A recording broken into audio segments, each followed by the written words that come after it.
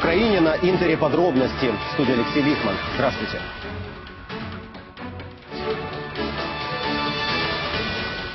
Осколки режима тишины. Подробности пробрались на огневые позиции украинских военных. Не лечила, а калечила. ГПО обвиняет экс-министра Богатыреву в смертных грехах. Съешь вареник, день солдата, как израильтяне на украинскую армию сбросились. Гонконгские тетушки и поход на местное Межигорье. Революция зонтиков набирает обороты. Э, вареники, сало, горилка, а еще сувениры из Украины. Это все для того, чтобы помочь нам, нашим солдатам. Подробности смотрите у Сергея Ауслендера. Над тенистой улицей Петахтиквы реют флаги Израиля и Украины. И звучат, сплетаясь многоголосый гомон, мова, иврит и русский. Такой сегодня день. Украинская община проводит акцию «Съешь вареник, а день солдата». День украинской кухни в Израиле, день солидарности с украинскими военными, день украинца. В общем, как хотите, так это и назовите, но уж точно не вызывает никаких сомнений, что сегодня вот это самое украинское место в еврейском государстве. Вот он шанс для местных жителей, чья кухня отличается от украинской как небо от земли, попробовать настоящих вареников с картошкой или бутерброд с салом, в придачу к которому еще и рюмку поднесут. И хотя вся еда по иудейским понятиям совершенно неправильная, то есть не кошерная, никого это особо не смущает. Ради дружбы народов можно и о правилах не вспоминать. Опять же, вкусно. У меня девушка из Украины очень любит свою страну, а я люблю ее, так что мне теперь не все равно, что там происходит. Организовали все это члены группы «Израиль поддерживает Украину». В свое время они участвовали в создании воздушного моста, по которому сюда перебросили тяжелораненых на Майдане.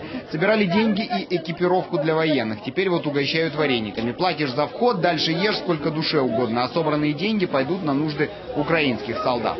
Мы объявили акцию для того, чтобы собрать средства и закупить необходимые вещи. Это военная форма, вот, это специальное термобелье. Мы как бы уже нашли поставщиков э, для этих э, товаров. И точно так же мы попросили людей, у кого есть возможность принести какие-то свои вещи, теплые из дома, также для детей, для интерната, для детского дома, который находится в зоне АТО. Сувениры, флаги и флажки, карты Украины единые и неделимые расхватывают еще быстрее, чем вареники. А вот такие еврейские вышиванки, продукт местных умельцев, пользуются особым спросом.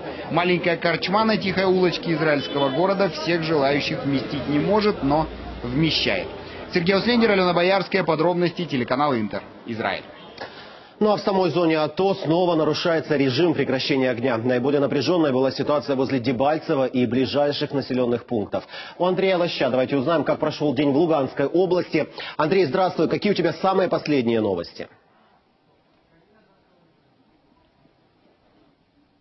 Алексей, ночью луганские террористы один раз нарушили режим тишины, обстреляли блокпост неподалеку от поселка Гиевка, ранен солдата над Старобельском, Мостками и Орехово. Этой ночью летали вражеские беспилотники.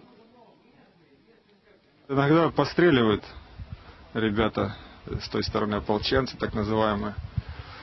Ну, сейчас вот э, вроде потише стало. Ночевать, конечно, намного спокойнее в тишине. Ну, тем не менее, все смотрят в оба.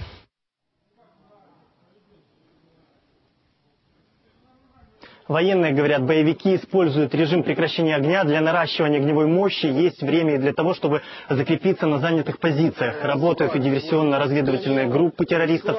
Кроме того, вчера около шести вечера, прямо во время нашего прямого включения, боевики пытались спровоцировать военных на огонь.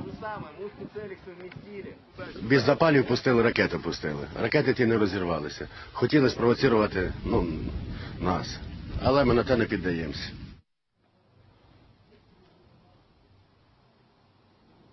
Украинские солдаты тем временем занимаются укреплением собственных рубежей. А в наиболее уязвимой точке Луганской области прибывает техника для обороны. До минимума солдаты снизили вероятность окружения боевиками города Счастья. Кроме того, армейцы помогают местным восстанавливать инфраструктуру. Теперь вот жители Перевальского и Старого Айдара могут пользоваться переправой.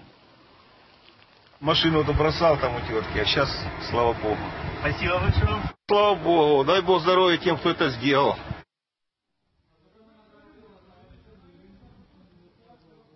Жители близлежащих сел без преувеличения умоляют украинских военных не отступать, несмотря на сложную ситуацию с деньгами, несут солдатам поесть, пакетами отдают яблоки, конфеты, помогают также теплыми вещами.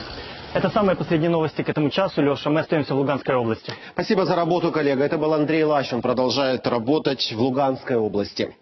Жизнь в оккупации. Нет воды, нет денег. Сегодня утром еще и связь пропала. Вот что рассказывают те, кому мы все же смогли дозвониться.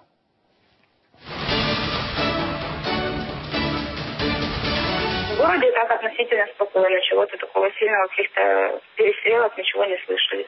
Зарплат нет, пенсии нет. С утра не было связи. Вот Так, в принципе, э, воды нет, даже холодной нет. Уже 80, больше 80 дней нет воды. Но мы сильно не ходим никуда, только с утра на работу и домой. Сегодня с утра по городу были видны большие передвижения военной техники. Во дворах танки, БМП, куда-то везли грады, очень много машин с личным составом. Эта техника была российская. По некоторым слухам, вроде бы террористы ожидали атаки вооруженных сил Украины со стороны Песок, э, населенного пункта, и со стороны аэропорта. По другой информации, что террористы сами планировали организовать еще одну атаку на аэропорт И мы продолжаем следить за ситуацией возле Мариуполя. Что там происходит, давайте узнаем у Эльвины Сиит Булаевой. Эля, здравствуй. Какая обстановка в городе и в окрестностях? Вот что ты наблюдаешь? Да, Алексей, под Мариуполем в районе сел Павлополь Коминтерного вновь был открыт огонь. Над Сартаной замечена вражеская воздушная разведка. Ситуация на передовой остается напряженной. Ночью был обстрел в Новотроицке. Это село входит в так называемую буферную зону. Обстрел уже с прямого автоматического оружия. Были раненые, мы выезжали, забирали раненых бойцов, отвозили э, в больницу.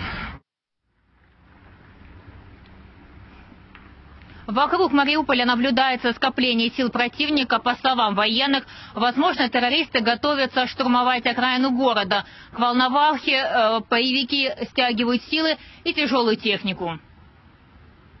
Со стороны Донецка э, заехали э, две гаубицы и пять танков. Пять танков еще видели в районе Еленовки, уже блокпост с танками здесь стоит. И, соответственно, еще одна группа порядка 50 единиц э, боевой техники. Несмотря на, протяж... э, несмотря на напряженную ситуацию на окраине Мариуполя, Министерство внутренних дел приказало батальону оставить свои позиции и ехать в столицу. Однако военные уверяют, если они пойдут с позиции, то на их места придут сепаратисты. Таким образом потеряют часть украинских земель. И поэтому оставлять свои позиции они не намерены. Часть батальона останется в Мариуполе. Если мы бросим сейчас эту позицию, вот, то, соответственно, мы потеряем э, полностью э, район Волновахи.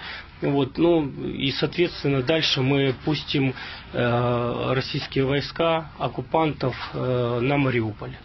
Вот, то есть э, нашим э, командирам и всем подразделениям было принято решение э, основную боеспособную часть нашего батальона все оставить здесь вот, для защиты э, Волновахи.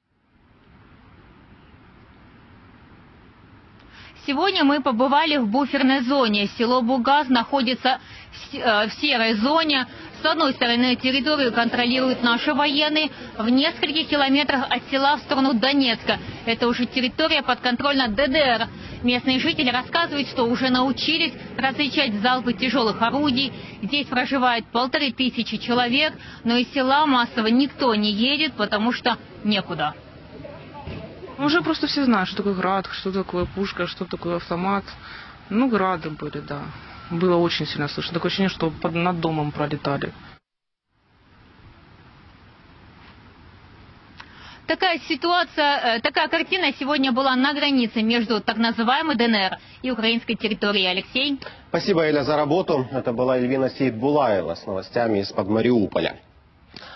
Правда ли, что Ангела Меркель хочет ослабить санкции против России? Или это все же неправда? Правда ли, что немецкие политики призывают вернуть Россию в большую восьмерку? Или все же неправда? Все выясняла Татьяна Лагунова. Германия подумывает о смягчении санкций против России. Эту новость сегодня растиражировали многие европейские СМИ со ссылкой на немецкий таблоид Bild, который в свою очередь ссылается на хорошо информированные источники в правительстве. Такая информация на страницах таблоида действительно есть, но немного в другом ключе. Мол, на днях Ангела Меркель встречалась с ближайшими соратниками и дала понять, в недалеком будущем отношения между Россией и Германией могут потеплеть, но только при выполнении двух условий. Первое – это стабилизация обстановки на Донбассе. И второе – переговоры о статусе аннексированного Россией Крыма. До этого о пересмотре санкций не может быть и речи. Такая же позиция у министра иностранных дел Германии Франка Вальтера Штайнмайера. Более того, в немецком МИДе прямо говорят, Европа должна быть готова к введению новых санкций на случай, если Россия не прекратит агрессию против Украины. Впрочем, есть у Владимира Путина в Германии и верные друзья. Например, баварский политик и депутат Бундестага Петер Гаувайлер. Тот самый, который призывал Запад не изолировать Северную Корею и не помогать странам Евросоюза, переживающим финансовый кризис. Так вот, он предложил принять Россию назад в Большую Восьмерку и пригласить Путина на саммит, который состоится летом следующего года в Германии. Но все его заявления не больше, чем популизм. Кого куда приглашать, решает не Гаувайлер и даже не Ангела Меркель, а как минимум лидеры всех стран-членов организации. Татьяна Лугунова, Вячеслав Фролов. Подробности немецкое бюро телеканала «Интер». «Проснись, Европа» — это название статьи финансиста и филантропа Джорджа Сороса в «Нью-Йорк Ревью of Books». Почему он призывает европейцев очнуться и чем может помочь, знает Дмитрий Еловский, в Вашингтоне. Здесь уже второй день обсуждают статью 84-летнего гуру инвестиций. Сорос вообще не так часто пишет для прессы, поэтому в Америке внимательно следят за каждым его словом. Финансист призывает Европу наконец очнуться от иллюзий по поводу России. Утверждает, сравнению с Евросоюзом Москва-то оказалась более тактически гибкой и щедрой на сюрпризы, которые отнюдь не всегда бывают приятными. Номер 30 по всемирному споске Forbes призывает немедленно инвестировать в Украину. Для начала около 20 миллиардов долларов в случае необходимости увеличить размер выплат. Эти деньги, по мнению Сороса, сделают Украину более независимой от России. А если ЕС спасет Украину, то спасет и себя. Сорос вообще имеет богатый опыт работы с россиянами. Он поддерживал многие демократические проекты в 90-е, инвестировал и в науку. Делает финансисты довольно важный прогноз на период после выборов в Раду. По мнению инвесторов, Путин предложит Порошенко выгодные условия поставок газа в обмен на своего человека на посту премьер-министра страны. Далее стоит ожидать сухопутного коридора из России до Крыма и Приднестровья. Об этом тоже пишет Сорос. Еще одна разменная монета – это помощь Путина в борьбе с исламскими террористами ИГИЛ. Кремль пока что не вмешивается в ситуацию. Возможно, выторговывает себе нужные условия. Мол, вы нам карбланш на Украину, мы вам, так и быть, поможем разобраться с исламистами. Что касается санкций, то Сорос считает, что Европа и Америка слишком мягкотелы в этом вопросе. И кроме давления на Россию, необходимо еще и оказывать помощь Украине. Комментарии к этому материалу на сайте издания очень разные. Кто-то пишет, что Сорос прав. И поразительно, что кому-то может нравиться шовинизм и агрессия Путина. Но есть и скептики, а может быть и вовсе боты. И пишут, если Сорос это противоядие от Путина, то такое противоядие может быть гораздо хуже, чем сам яд. Но как бы то ни было, к мнению этого человека, элиты обычно прислушиваются по обе стороны океана. И ждать реакции на эту статью остается совсем недолго. Дело лишь в том, какой будет эта реакция. Дмитрий Иловский, Никита Исайко. Подробности. Американское бюро телеканала Интер. Узкий круг, широкий круг, в общем, круг. В Сочи сегодня очередная встреча так называемого дискуссионного форума «Валдай». Путин и его ярые приверженцы обсуждают политику, экономику, ну и, конечно же, Украину. Аннексию Крыма глава России назвал легитимной, референдум под дулами автоматов законным. Глава российского государства еще решил поиграть в миротворца. Сказал, что ситуацию на востоке Украины нужно разрешить дипломатическим путем. А вот как там заблудились российские дипломаты на танках, он не ведает. Ну а потом Путин решил пожурить западные СМИ. Вот так. Тотальный контроль над глобальными средствами массовой информации позволял при желании белое выдавать за черное, а черное за белое. В условиях доминирования одной страны и ее союзников, или по-другому сказать, сателлитов, поиск глобальных решений зачастую превращался в стремление навязать в качестве универсальных собственные рецепты. Ничего схема не напоминает? Да-да, это больше напоминает кремлевский стиль. И многие это заметили. А вот что заметила Москва и о чем она сегодня гудела. Это далеко не Путин, знает наш московский корреспондент Данил Русаков. Пока путинские технологи клепали заготовки для Валдая в Сочи, Москва шумела совсем по иному поводу. Очередной спецоперации, полностью провальной. Сотрудники ГАИ ночью пытались остановить аудио А8 и еще как пытались. Но по официальной версии вообще ничего не было. Хотя, судя по этим фото, шоу все-таки удалось и на славу. Поврежденными и побитыми оказались как минимум 8 автомобилей. Полицейские устроили так называемый живой щит прямо на московской объездной автодороге. За кем гнались и кого останавливали, неясно. Очевидец событий Влад Яковченко, проторчав пробки, все-таки решил поделиться своими впечатлениями в Фейсбуке. Фотографии сделаны им же, по словам водителя, стражи правопорядка останавливали, как ему показалось, гастарбайтера. Он был за рулем автомобиля Audi и, по всей видимости, под шофе. Заслон из машин и людей растолкал без особого труда. Ему даже не пришлось покидать салон А8. На полицейских, что кружили вокруг него с автоматами, отвлекаться он почему-то не стал. Несколько маневров зад-вперед, и его след простыл. Люди в погонах бросили след, и, по словам очевидца, полицейских вообще не волновало, если пострадавшие. Примечательно, что злополученную Ауди через несколько часов все же нашли на обочине и с простреленными шинами. Гастарбайтер испарился. Приехавшие на место событий новые полицейские убеждали, люди в погонах не настоящие. Хорошо не сказали, что они заблудились. Никакой спецоперации и в помине якобы не было, никаких живых счетов не создавали. Что делать с поврежденными поврежденными автомобилями, они, кстати, тоже не знают и знать, видимо, не хотят. Не со своего же кармана платить. Так устроена Москва. Хоть и хочет выглядеть по-европейски, но все равно как-то получается Азия. Данил Русаков, Олег Неведомский, Московское бюро, телеканал Интер. Коктейли Молотова, тетушки и поход на китайское Межигорье. Майдановские мотивы в гонконгских протестах у Светланы Чернецкой. Революция зонтиков в Гонконге все больше похожа на украинский Майдан. Здесь уже первые коктейли Молотова и первый пойманный тетушка. Горючая смесь, правда, так и не взорвалась. Бдительные протестующие вовремя заметили непонятные действия мужчины и связали его. До прибытия полиции провокатор уже был без сознания. То ли испугался возмущенной толпы, то ли получил за провокацию. Полицейские так и не объяснили мотивы и личность задержанного. В последние дни властимущие вообще не балуют активистов вниманием. Можно сказать, сейчас революция зонтиков на этапе полного игнорирования чиновниками. Поэтому протестующие становятся активнее. Впервые состоялся и поход в местное Межигорье. Конечно, до поместья беглеца Януковича этому зданию далеко, как и, впрочем, его хозяину, главе правительства Гонконга Лян Дженину, до самого Януковича. Разгневанные люди топтали фотографии Джен Ина, упрекая в том, что он подстилка Китая, мол, должен был вместе с жителями Гонконга отстаивать право на демократические выборы, а не поддакивать пекинской портократии. Это невиданной смелости акция тоже осталась без внимания власти. Мы пообщались с основателем протеста протестного движения Джошуа Вонгом, это некий гонконгский Мустафа Наем. Это он 26 сентября позвал людей на улицу выступить против навязанных Китаем изменений к выборам. Его еще называют первым зонтиком революции.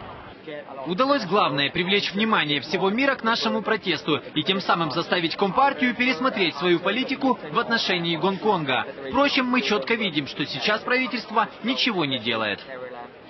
И сегодня стало известно о черном списке Китая. В него вошли 47 гонконгских звезд, поддержавших протест. Эти певцы, артисты и актеры не смогут выступать на материке, а всем китайским СМИ запрещено даже упоминать их имена. Конечно, официально о таком запрете не сообщали, но существование черного списка подтвердило руководство одного китайского государственного издания. И наверняка не случайно на материке убрали всю рекламу с мегазвездами кино Чоу Юнфатом и Энди Лау. Кстати, под горячую руку Компартии попал и американский саксофонист Кенни Джи. Он имел неосторожность сделать селфи на фоне палаточного городка. МИД Китая в ответ попросил иностранцев воздержаться от поддержки незаконного движения. Музыкант так перенервничал, что удалил фотографию со своей страницы и запостил сразу семь сообщений, что, мол, на Майдане оказался случайно, протест не поддерживает и вообще не знает, за что там сражаются. Кенни дико популярен в Китае, ежегодно проводит масштабные туры и, конечно же, не хочет ссориться с Компартией. Правда, юных гонконгских фанатов после этого он точно потерял, похоже, навсегда. Светлана Чернецкая, Валентин Белич. Подробности телеканал Интер из Гонконга, Китай. Когда будут вакцины, за какие деньги их закупят и закупят ли вообще? Причем тут выборы и сколько в них коррупции? Смотрите нас дальше. Оброк ЕС. Великобритания шокирована. Касса Евросоюза обойдется ей еще дороже. Загадочная смерть, из-за чего покончил с собой партнер Строскана. Всем по заслугам. Кого наказала УЕФА за срыв матча в Белграде? Лекарства в больницах будут, уже рапортуют в Министерстве здравоохранения. И тендерные закупки, и заключение договоров практически завершены. Также в медучреждениях провели инвентаризацию. И сейчас перераспределяют медикаменты туда, где их не хватает. В этом помогут Грузия и Канада. розповсюджено по Україні на 36,8 мільйонів гривень гуманітарної допомоги. Це яка надійшла від уряду Грузії, яка надійшла від Всесвітньої організації охорони здоров'я. Ми звернулися до ВОЗ і уряд Канади виділив 3 мільйони канадських доларів на закупівлю вакцин для України. И вот что говорят их оппоненты. Мы, оппозиционный блок, заставили наконец-то это антинародное правительство найти деньги на то, что мы говорили уже, наверное, не один день и не, и не одну неделю. Мы будем следить за тем, чтобы они не разворовали эти деньги, как обычно, и чтобы эти деньги дошли к людям. И это правительство однозначно должно уйти в отставку, потому что он не обращает свои взоры на то, что людей беспокоит. А вот бывшего министра здравоохранения объявили в розыск. Генпрокуратура подозревает Раису Богатыреву в растрате более 6 миллионов гривен. А в СБУ считают ее причастной к фальсификации лекарств. Речь идет о подпольных лабораториях, которые существовали в том числе и в подвалах Минздрава. Ранее суд арестовал имущество мужа Богатырева. Это три квартиры в Киеве, апартаменты в Ялте и три дома в Киевской области.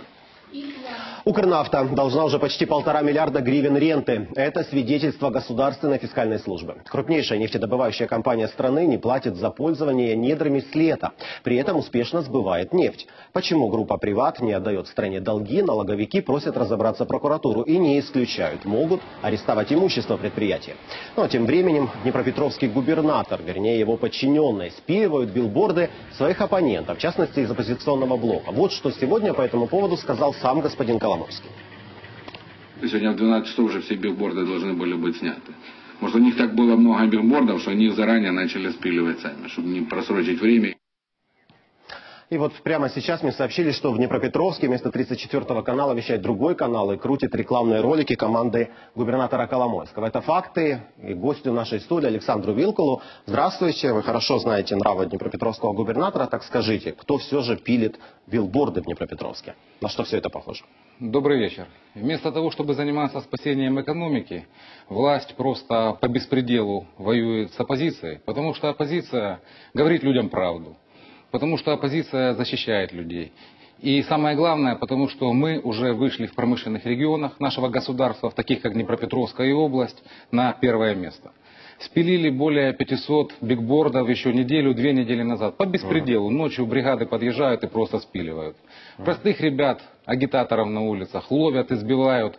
Несколько дней назад э, Нескольких из таких ребят отвезли на кладбище и заставляли самим себе копать могилы и рассказывать. Им при этом рассказывали, что если они будут продолжать поддерживать оппозиционный блок, а вот эти такая факты, ситуация. которые сейчас всплыли в интернете о дележе округов, в частности, и на востоке Украины. Есть записи разговоров Коломойского с одним из политиков, давайте не будем его называть. А эти факты подтверждаются или нет? Вы знаете, И- э, они готовятся к фальсификации, к такой тоже очень грязной фальсификации. Например, всеми правдами или неправдами практически во все окружные комиссии на должности системных администраторов это э, те работники, которые через компьютер передают э, в Центр избирком данные. Э, Позаводили своих людей, например, округ в Днепродзержинске, баллотируется директор Азота, завели на должность системного администратора, который передаст данные работника этого предприятия тоже Азота. Хотя люди там поддерживают Константина Гузенко. Я понимаю, Вот да. Классический Смотрите, случай. какой у меня к вам вопрос. Э, Вы строите свою рекламную кампанию предвыборную на а, критике правительства. Критикуете нещадно, я должен отметить.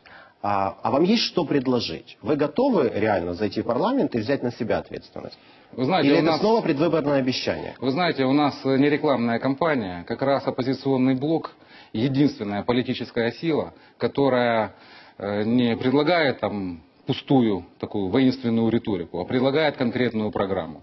Если говорить про производство, про промышленность, про нашу экономику, что если оппозиционный блок сразу очень резко в новом парламенте не начнет реализовывать антикризисную программу, то у нас э, промышленность будет дальше падать, уже на 20% она обвалилась, и курс доллара будет 25, они к этому готовы. Оппозиционный блок реализует комплексную программу, очень реалистичную, э, подъема производства, это имеется в виду всей отрасли. Отдельная металлургия, машиностроение, там, судостроение, угольная промышленность. Мы защитим тем, кому, тем кого сейчас, кому сейчас сложнее всего, это украинские семьи. Запрет на повышение коммунальных тарифов.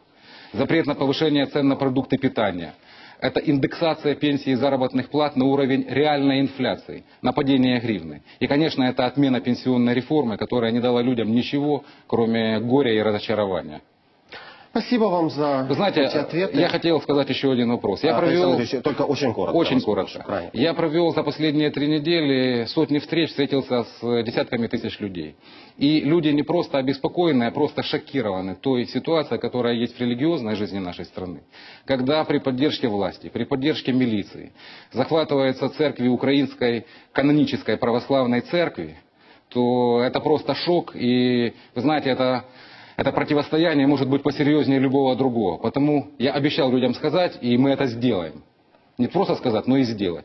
Мы в новой Верховной Раде примем закон, который запрещает насильственный переход храмов Я из понял. одной конфессии Спасибо, в Александр другую. Юрьевич. Это важнейший Спасибо. вопрос. Люди вас услышали, я думаю. Э, Спасибо за ответы. Это был Александр Вилкул, кандидат в народный депутат, оппозиционный блок. Мы продолжим выпуск Черкасы. Пока местные политики в городе делят там портфели и плетут интриги, практически в центре города трещит дом в прямом смысле слова. Давайте посмотрим. По строительным меркам этой высотки не так уж и много. Ее сдали в эксплуатацию 14 лет назад. Но дом уже сыпется. Огромные трещины прошили стены от основания фундамента и до самой крыши. Вы видите, сжатие. Вот она идет из-за трещины. И пошла она вот, вот, вот. И в детской у меня идет как наискось. Жильцы 14-этажного дома засыпают и просыпаются под треск стен. И так уже 10 лет. Столько же отпискам чиновников. Сколько можно? Уже комиссии нас э, эти заколебали ходят одна за другой, а решения никакого же нет. Высотку строили разные подрядчики. Ее несколько раз перепродавали. В итоге квартиры людям продало предприятие, которое достраивало дом. На ремонт нужны деньги, почти миллион гривен. А их нет. Местные власти средств не выделят. Якщо на сьогоднішній день власникам є Черкаси будуть матеріали, то вони відповідальні за те, що необхідно там робити роботи. Це підприємство вже майже банкрут. І е, розраховувати на, на те, що саме він буде ці роботи виконувати, майже ніяких шансів немає. Жильцам советуют создать ОСМД – объединение совладельцев многоквартирного дома. Тогда им выдадут единовременную помощь. А так чиновники просто отмахиваются от проблемного дома. Сьогодні за е, участю громадських організацій, за участі мешканців, за участі е, людей, які досвідчені фахівці, знають е, проблематику цього питання, його треба привертати до нього увагу. Інакше воно ніколи не вирішиться. А небезпека велика. На следующей неделе общественники будут продавливать эту проблему на сессии горсовета, чтобы высотку все же приняли на баланс города и местные власти несли за нее ответственность, если они власть. Леонид Аборин, Николай Смирнов. Подробности телеканал Интер. Черкасы. Теперь Львов, проблемы там старые, все обещали их решить. И вот как решили. Посмотрите в сюжете Андрея Кравца. Львовский район Сыхив – это скопление многоэтажек, здесь много молодых семей и куча детворы. Молодая мама Кристина с трудом стала на очередь в детский сад в соседнем микрорайоне. Записалась за год до того, как туда пойдет дочь Соломия. За старшим Володей уже как-то присматривала сама, но сейчас ей уже нужно возвращаться на работу. Виходу в нас іншого немає. Ми ж не можемо чекати. Діти ростуть, не чекають, поки садочки будуть відкриватися чи ні. В то же время прямо под окнами здание детского сада, почти готовое принять детей. Он был закрыт лет 20 назад, выбитые окна, местами поврежденная крыша, нет даже охранника. Сейчас тут пристанище городских бомжей, а молодые родители сидят с детьми дошкольного возраста. Я чув, що колись сказали, що мають відновити, а коли то буде відновити, що там пар судовий обіцяв, а щось я не відчув. Проблема с детскими садами хроническая для Львова, и добиться что-либо от властей невозможно. Мария, жительница улицы Днестровской, говорит, в единственном садике, оставшемся в районе, 180 детей на сотню мест. В то время как вот этот бывший отдан в аренду неизвестной фирме, ссылаясь на документы, утверждает, арендаторы вырубают деревья и почти не используют помещения.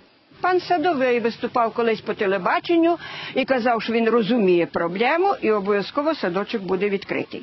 Але прийшов 2012 рік, замість виконати обіцяне, оренду продовжили до 2024 року. Теперь по неофициальной информации из мэрии здесь будет чей-то особнячок.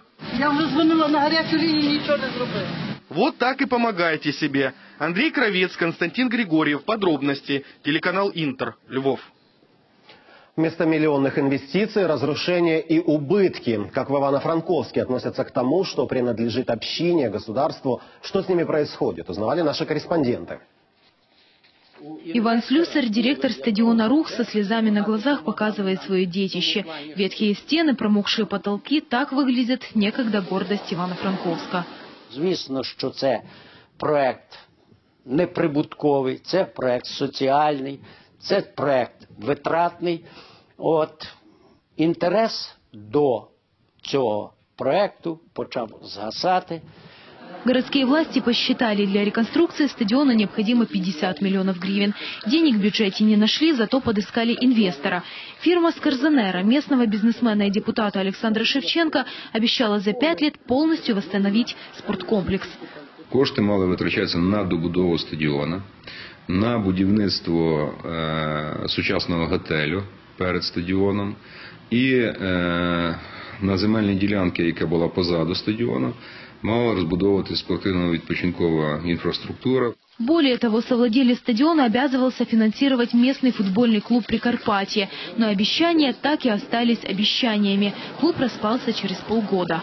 Ми всі надіялися, що прийшов такий дуже потужний інвестор, можна було сказати, що який мав дуже великі речаги управління і фінансування. Так сталося, що чотири школи в нас є, а попадати нема куди. За два года инвестирования Шевченко здесь так ничего и не сделал. Стадион вернули в собственность города с огромными долгами. Полмиллиона гривен долги за свет, отопление и по зарплате. В городе уверены Шевченко и дело не было до стадиона, как и до местного аэропорта. Шустрый инвестор его тоже прикарманил. Теперь самолеты летают лишь раз в сутки. Аеропорт має експлуатувати компанія, яка налагодить власне достатню кількість рей- авіарейсів е, для цього аеропорта та його життя. Позмагатися сьогодні Івано-Франківський аеропорт е, може з іншими аеропортами України. Надо посмотреть, что будет возвращаться. Обязательно сам факт возвращения должен сопровождаться существенной материальной компенсацией для последующего восстановления эксплуатационных возможностей этих объектов. Уничтожить и потом бросить назад государству без всякой компенсации – это преступно и непозволительно. До самого Шевченко дозвониться невозможно. Знает ли правительство о том, что происходит в Ивано-Франковске? Да, наверное, знает, но не видит. Татьяна Петренко, Владислав Тетерев. Подробности телеканал Интер, Ивано-Франковск. Два гидроагрегата Днестровской ГАЭС запустил президент Петр Порошенко во время рабочей поездки в Черновицкую область. Запуск таких объектов – вопрос энергетической независимости государства. А вот что президент сказал о предстоящих выборах. Нам треба провести вибори е, на Буковині і по всій Україні і забезпечити гарантію виборчих прав тим, хто сьогодні живе на Донбасі. Щоб не бандити їх представляли, а ті, кого оберуть у відповідності до, з українськими законами, з вільним волевиявленням громадян, під спостереженням ОБСЄ і всіх міжнародних організацій. Последний день предвыборного пиара. В воскресенье уже выборы. Где были и что говорили кандидаты в депутаты, смотрите в нашем обзоре, ну и решайте.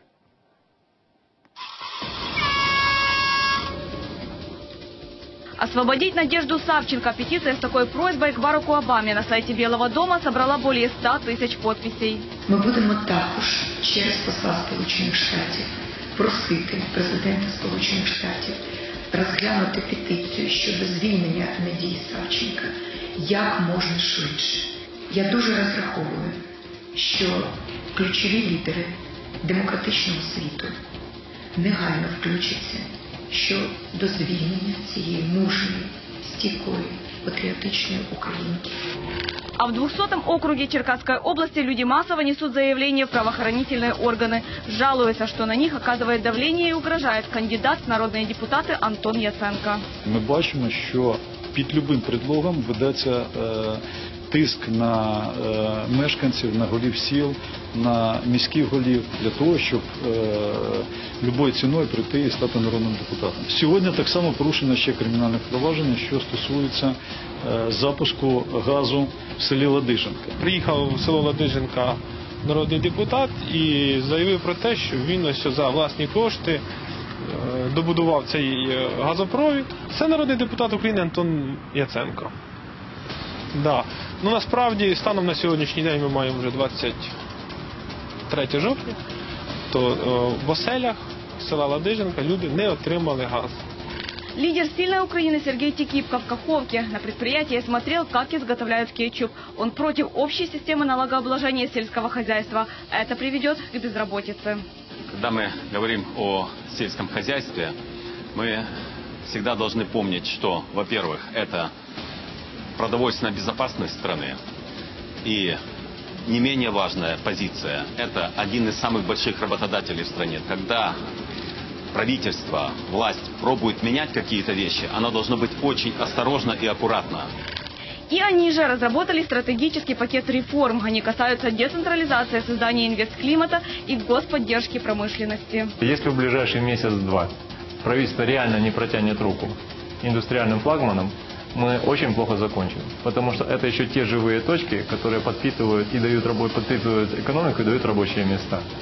В Киеве на Оболоне предвыборные страсти. Кандидат в нардепы по 217 округу Киева Владимир Козак уверяет, его оппонент Белецкий говорит неправду о том, что его поддерживает президент. Є офіційний документ е, Київської міської організації про те, що е, ні Київська міська організація блоку Петра Порошенка, ні вищестоящі організації е, нашого блоку не підтримують такого кандидата. С наступлением зимы о тарифах лидер гражданской позиции настаивает. Люди должны знать, за что платят. Нова парламентська коаліція має зруйнувати монополію олігархів, забезпечити прозорість у формуванні комунальних тарифів і забезпечити якісні комунальні послуги. Люди повинні платити лише за те, що вони отримують. Ніякі збитки не повинні на них списуватися. Из-за чего покончил с собой партнер Строскана, один из богатейших людей Франции и ведущий финансист страны. Подробнее об этом София Гордиенко из Парижа. Я больше финансист и менеджер, человек сделок. В этом интервью трехлетней давности Лейн – само воплощение уверенности в себе. Еще бы один из самых состоятельных иудеев Франции. И теперь вся страна обсуждает его трагическую смерть. Он выбросился из окна своей квартиры в Израиле, в Тель-Авивском небоскребе знаменитой башни УО. Он прославился еще больше недавним партнерством с экс-главой МВФ Домиником Стросканом. Скандальный политик организовал компанию, которая занималась управлением активами, страхованием и финансовым посредничеством.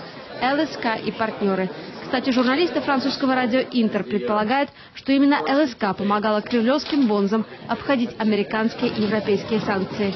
Причины, по которым 48-летний Терри Лейн покончил с собой, до сих пор не ясны, но полиция нашла предсмертную записку, в которой он сообщает о своем желании расстаться с жизнью из-за депрессии и тяжелой болезнью. Собственно, своей смертью Терри Лейн подтвердил еще раз неутешительную статистику о том, что финансисты попадают первую пятерку самых суицидальных профессий мира. София Горденко, Василий Трушковский. Подробности. Европейское бюро телеканала «Интер». Хорошо живете, платите больше. Великобританию заставляют отдать в общую кассу Евросоюза почти на 2 миллиарда больше, чем рассчитывали. Все потому, что экономика страны развивается лучше прогнозируемого. Британцы с этим не согласны. Дэвид Кэмерон экстренно созвал Совет министров финансов ЕС, которым заявил, платить сверх нормы он не собирается. Но тем временем страна выплачивает огромные компенсации своим собственным гражданам. Вот кому и за что, расскажет Оксана Кундеренко. Почти полмиллиона фунтов стерлингов выплатила служба столичной полиции Лондона женщине по имени Джеки. Ее жизненная история похлеще любого детектива будет. Молодая активистка, борец за права животных. В 80-х годах знакомится с приятным мужчиной Бобом Робинсоном. У пары завязываются отношения, рождается ребенок. После трех с половиной лет совместной жизни гражданский муж бесследно исчезает. Джеки долго и безуспешно ищет его и лишь спустя 25 лет натыкается на статью в газете. Боб, на самом деле Ламберт, оказывается полицейским под прикрытием. Рядом со мной был шпион, которому государство платило за слежку. Он следил даже за тем, как я рожала сына. Он был со мной все 14 часов. Интересно, какой доклад он об этом написал? А еще интереснее, что рассказывал своей настоящей жене. В то время у него была семья с двумя детьми. Сына Джеки Боб так и не признал, хотя его другие дети давно умерли. После выхода на пенсию спецагент полиции стал писать книги и преподавать. Рассказывал о том, как внедрялся в протестные движения. И только теперь пришлось извиняться. Не ему самому, а службе полиции. От агента Джеки заветного прости так и не дождалась. Зато дождалась денежной компенсации после длительной психотерапии и реабилитации. Оксана Кундеренко и Сергей Дубинин. Подробности британское бюро телеканала «Интер». Убийственная лень, разоряющий креатив и петушиные бои по-королевски. Об этом и не только в нашем обзоре. Три года за петушиные бои для румынской принцессы. Дочь последнего короля Румынии Ирина Волкер, более известна как Ирина Крюгер, призналась в организации петушиных боев, а также азартных игр на своем ранчо в США. 60-летняя женщина и ее супруг получили три года условно, а еще должны выплатить штраф – 200 тысяч долларов. Холодное оружие против огнестрельного. В Аризоне полиции пришлось застрелить угонщика авто, который угрожал офицерам мачете. А в Нью-Йорке бандит напал на стражей порядка с топором. Одному полоснул по голове, другому по руке, после чего тоже был убит. Докреативились. Швейцарская компания, которая выпускала сливки с изображением Гитлера и Муссолини, грозит банкротство. После поднятого в сети скандала компания начала терять контракты, хотя является единственным в стране производителем лимитированных коллекций упаковок со сливками. Собирать их сейчас в Швейцарии очень популярное хобби. Против селфи, но с Твиттером. Британская королева отправила первое сообщение в популярной социальной сети. Сделала это публично с планшета на открытии новой галереи в Музее науки в Лондоне. Сообщение появилось в официальном аккаунте British Monarchy. Тысячи поклонников его мгновенно ретвитнули. Оживить сердце. Такое под силу врачам из Сиднея. Они впервые провели три успешных пересадки органа и каждый раз использовали уже не бьющееся сердце. Специально разработанный метод позволяет оживить этот орган в течение 20 минут после смерти донора. Самозажигание – внезапный фокус от шестого айфона. Новый гаджет от Apple проделал дыру в штанах американца из Аризоны, оставив на коже ожог второй степени. Это произошло после того, как телефон деформировался от случайного удара. В компании Apple пока не комментируют инцидент. Лень-матушка-убийца. Каждый шестой британец умирает от отсутствия физических упражнений, подсчитали в агентстве Public Health England. При этом 63% респондентов подтвердили, не занимаются спортом из-за лени. Сидящий образ жизни так же вреден, как и курение, заявляют в организации. УЕФА наказала сборные Сербии и Албании за беспорядки на матче в Белграде в отборочном туре чемпионата Европы. Чем поплатятся команды, а вот чем футбольные чиновники, узнавал Кирилл Евсеев. Фанаты и журналисты до последнего спорили. Делали ставки, какую команду накажут за срыв матча в Белграде. УЕФА наказала всех. Албанцам присудили техническое поражение, а Сербия потеряет три очка и проведет две встречи без зрителей. И обе федерации выплатят штраф по 100 тысяч евро. Ранее сербские СМИ писали, УЕФА объявит о переигровке на нейтральном поле. И фанаты уже готовились сразиться друг с другом. Если не на стадионе, то за его пределами. Но в УЕФА решили не рисковать. Напомню, как развивались события на предыдущей встрече. Во время игры на поле появился квадрокоптер, к которому на веревках был прикреплен баннер. Говорят, аппаратом управлял брат албанского премьера, прямо из вип-ложи. На полотнище карта так называемой Великой Албании, в которую входит часть территории Сербии. На поле завязалась драка. Подключились и сербские болельщики. Судьи матч остановили. Позже футбольные эксперты возмутились. УЕФА обычно разводит конфликтующие страны. Не могут играть друг с другом Россия Грузия, Россия Украина, Азербайджан и Армения, Гибралтар и Испания. Но про Сербию и Албанию забыли. Возможно, этим решением УЕФА история не закончится. Ассоциация футбола Албании намерена подать апелляцию. Считают, наказали их неоправданно. Наверняка отреагируют и сербы. И вся эта ситуация будет еще долго висеть над головами футбольных еврочиновников, как тот самый баннер. Кирилл Исеев, Павел Лысенко, Центральное европейское бюро телеканала Интер.